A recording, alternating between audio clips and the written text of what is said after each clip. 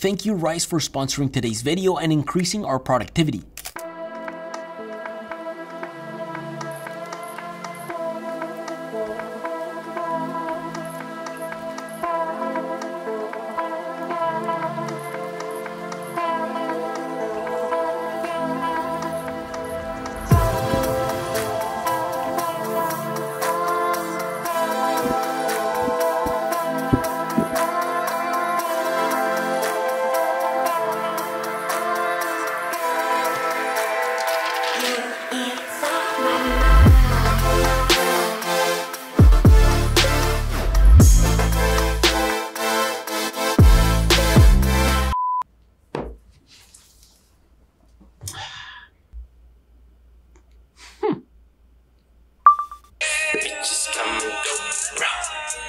Go. You know I stink. Oh, what is he doing?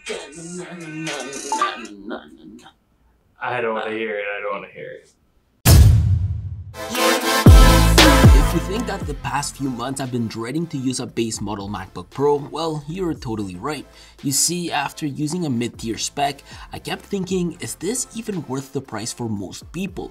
And to be honest, it just isn't. But before I give you guys a proper review of this thing, I thought it would be nice to show you how I set up most of my MacBooks, whether that's for productivity, dev, editing, or even simple everyday to day tasks. And so this is how everything starts for me.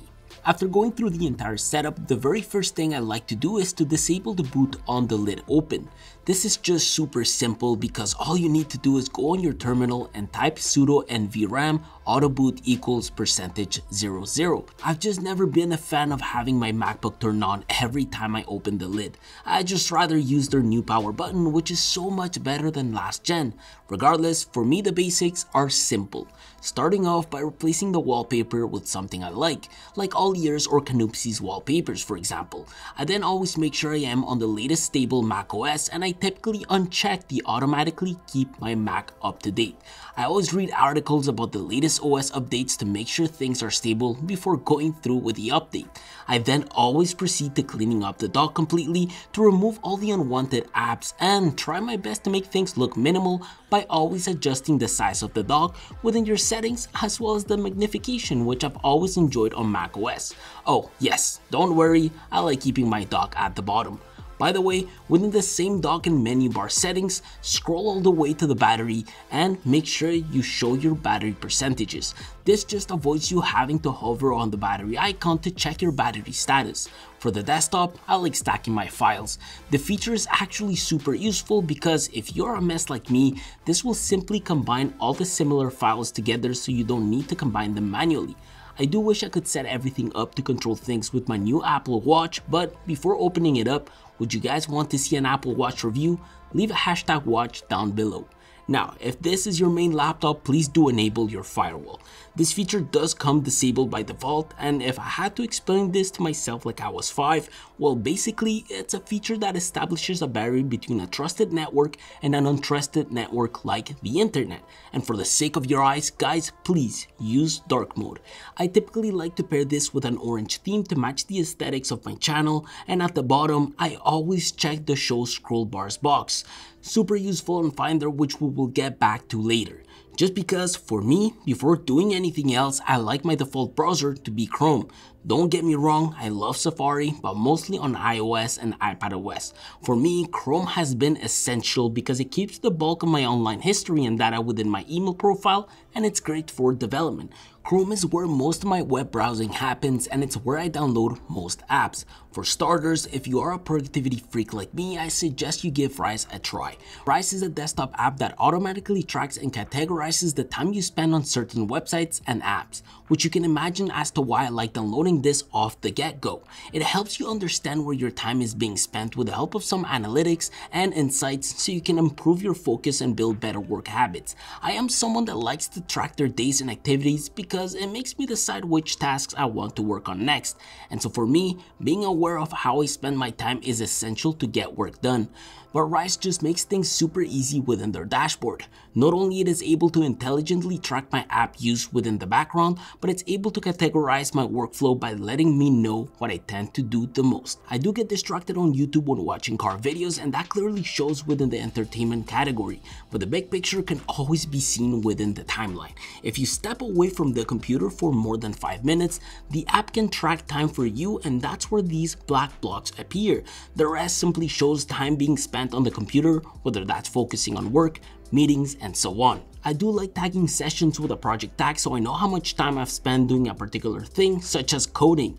The app overall makes it super easy to visualize how your day was spent and I totally recommend checking out the link down below and use my code Andres Vidoza to be the first 1000 people to get 25% off your first 3 months with Rize.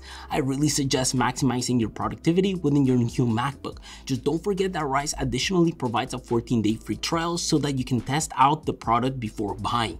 Rize leads me to the fact that productivity wise, the first app I enjoy using is Notion.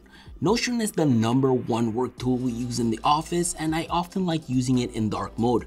With this, I recently heavily started using Paste as my clipboard manager to make copy and pasting super easy for me even when doing some development work. But as someone that enjoys using alarm clocks for reminders, I do heavily recommend you download and use Gestimer. It makes things super easy from the get-go in order to be able to set reminders like for example, posting on Instagram. Regardless, now that M1 fully supports Office 365 apps, I usually always download those but most importantly, Adobe Acrobat for PDFs, just because I constantly find myself signing contracts whether that's for the new car we got or new sponsorships for the channel and when it comes to managing your MacBook's temperature and overall system health, I like using TG Pro for this which lives on my menu bar as well as Clean My Mac which takes care of junk malware and makes your Mac faster and more organized. It's just an extra layer of protection for the firewall we enabled prior.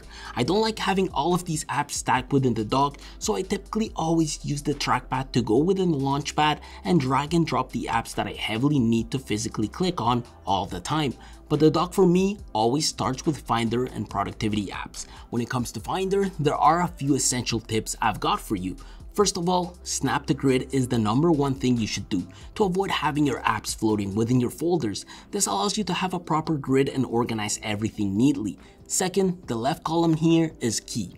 Within your Finder's preference settings, I recommend you enable and disable a few folders to make things clean and most importantly, organize them the way you want them on the sidebar. Oh, and developers, you might want to enable that user's home root folder and create your developer folder in there. Yes, it's an actual thing and it keeps things super clean. Just like the fact that adding the path bar and status bar within your view settings is just as great. Very much recommended just because they both allow you to travel faster within your folders and view their current content.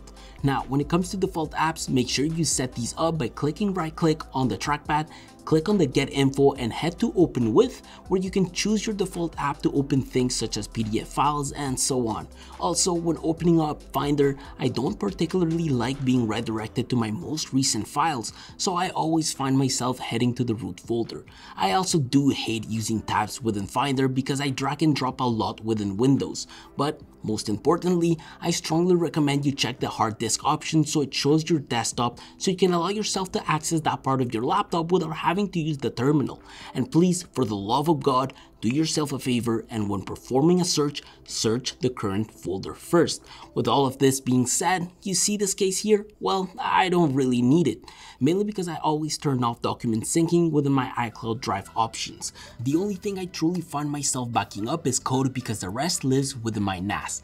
This is where for me, setting up my development tools is important. It all starts with browsing the net, installing Homebrew by copying their command to my clipboard and pasting it within the terminal. It all takes a while but eventually to be able to use it, all you need to do is update your path by running these two commands. With this, you can install Git, Install Node and install iTerm2 with Homebrew cask to obtain the UI.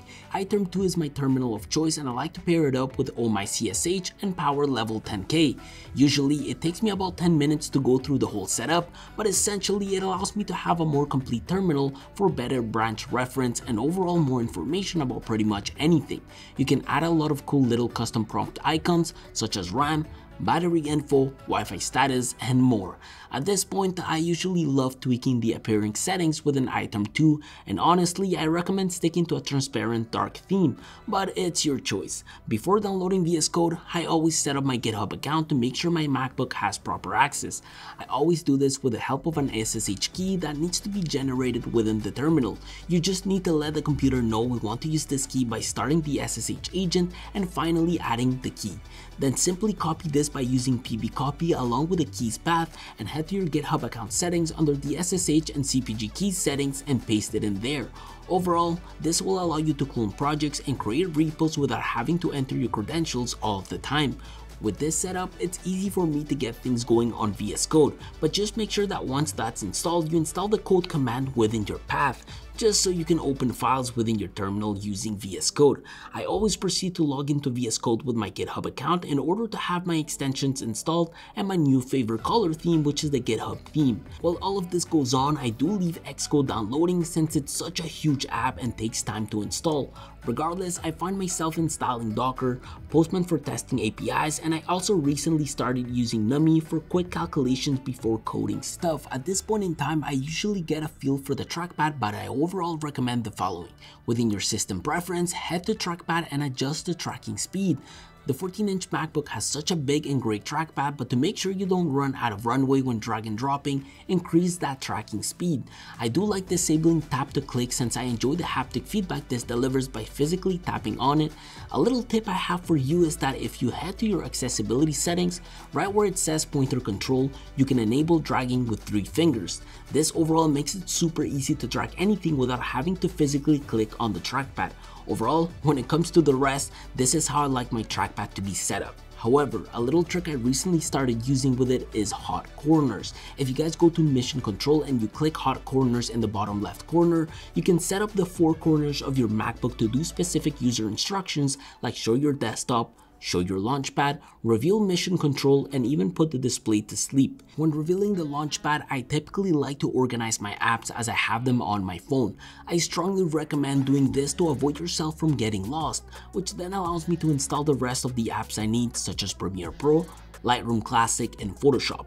Thanks to my NAS and my Finder setup, I can easily access the files I need such as fonts, LUTs, and presets for my apps. I always recommend having a NAS because it typically allows you to keep the essentials in one space and makes your editing setup a lot easier when it comes to setting up a new computer but these three apps never truly need any more setup than that since I like using their default settings.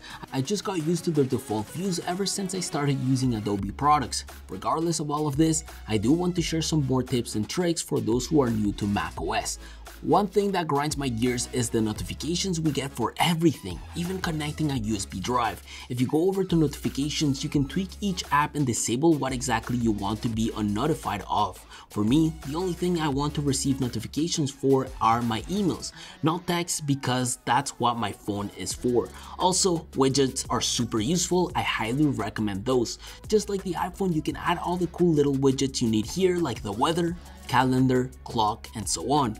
Also, get used to using the command center which is very well done. I strongly recommend using it because in here you can modify settings for things such as airdrop, your Bluetooth devices, focus for an optimal workflow, and even your keyboard brightness. Plus, if you ever want to record your screen or yourself, you can use QuickTime to do so.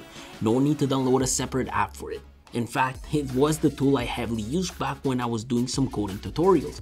Finally, to save you some time, I recommend using the trash shortcuts, which go like this. Command delete to delete the file selected and Command Shift delete to empty the trash. Very useful just like the fact that Command Space will reveal Spotlight Search, you know, so you can search better throughout your whole system. As for the system itself, I am very happy to be the owner of a base model MacBook Pro 14 inch for my everyday use. I am going to be making an overall review video in the future, but I think for 90% of people, this is the best laptop out there.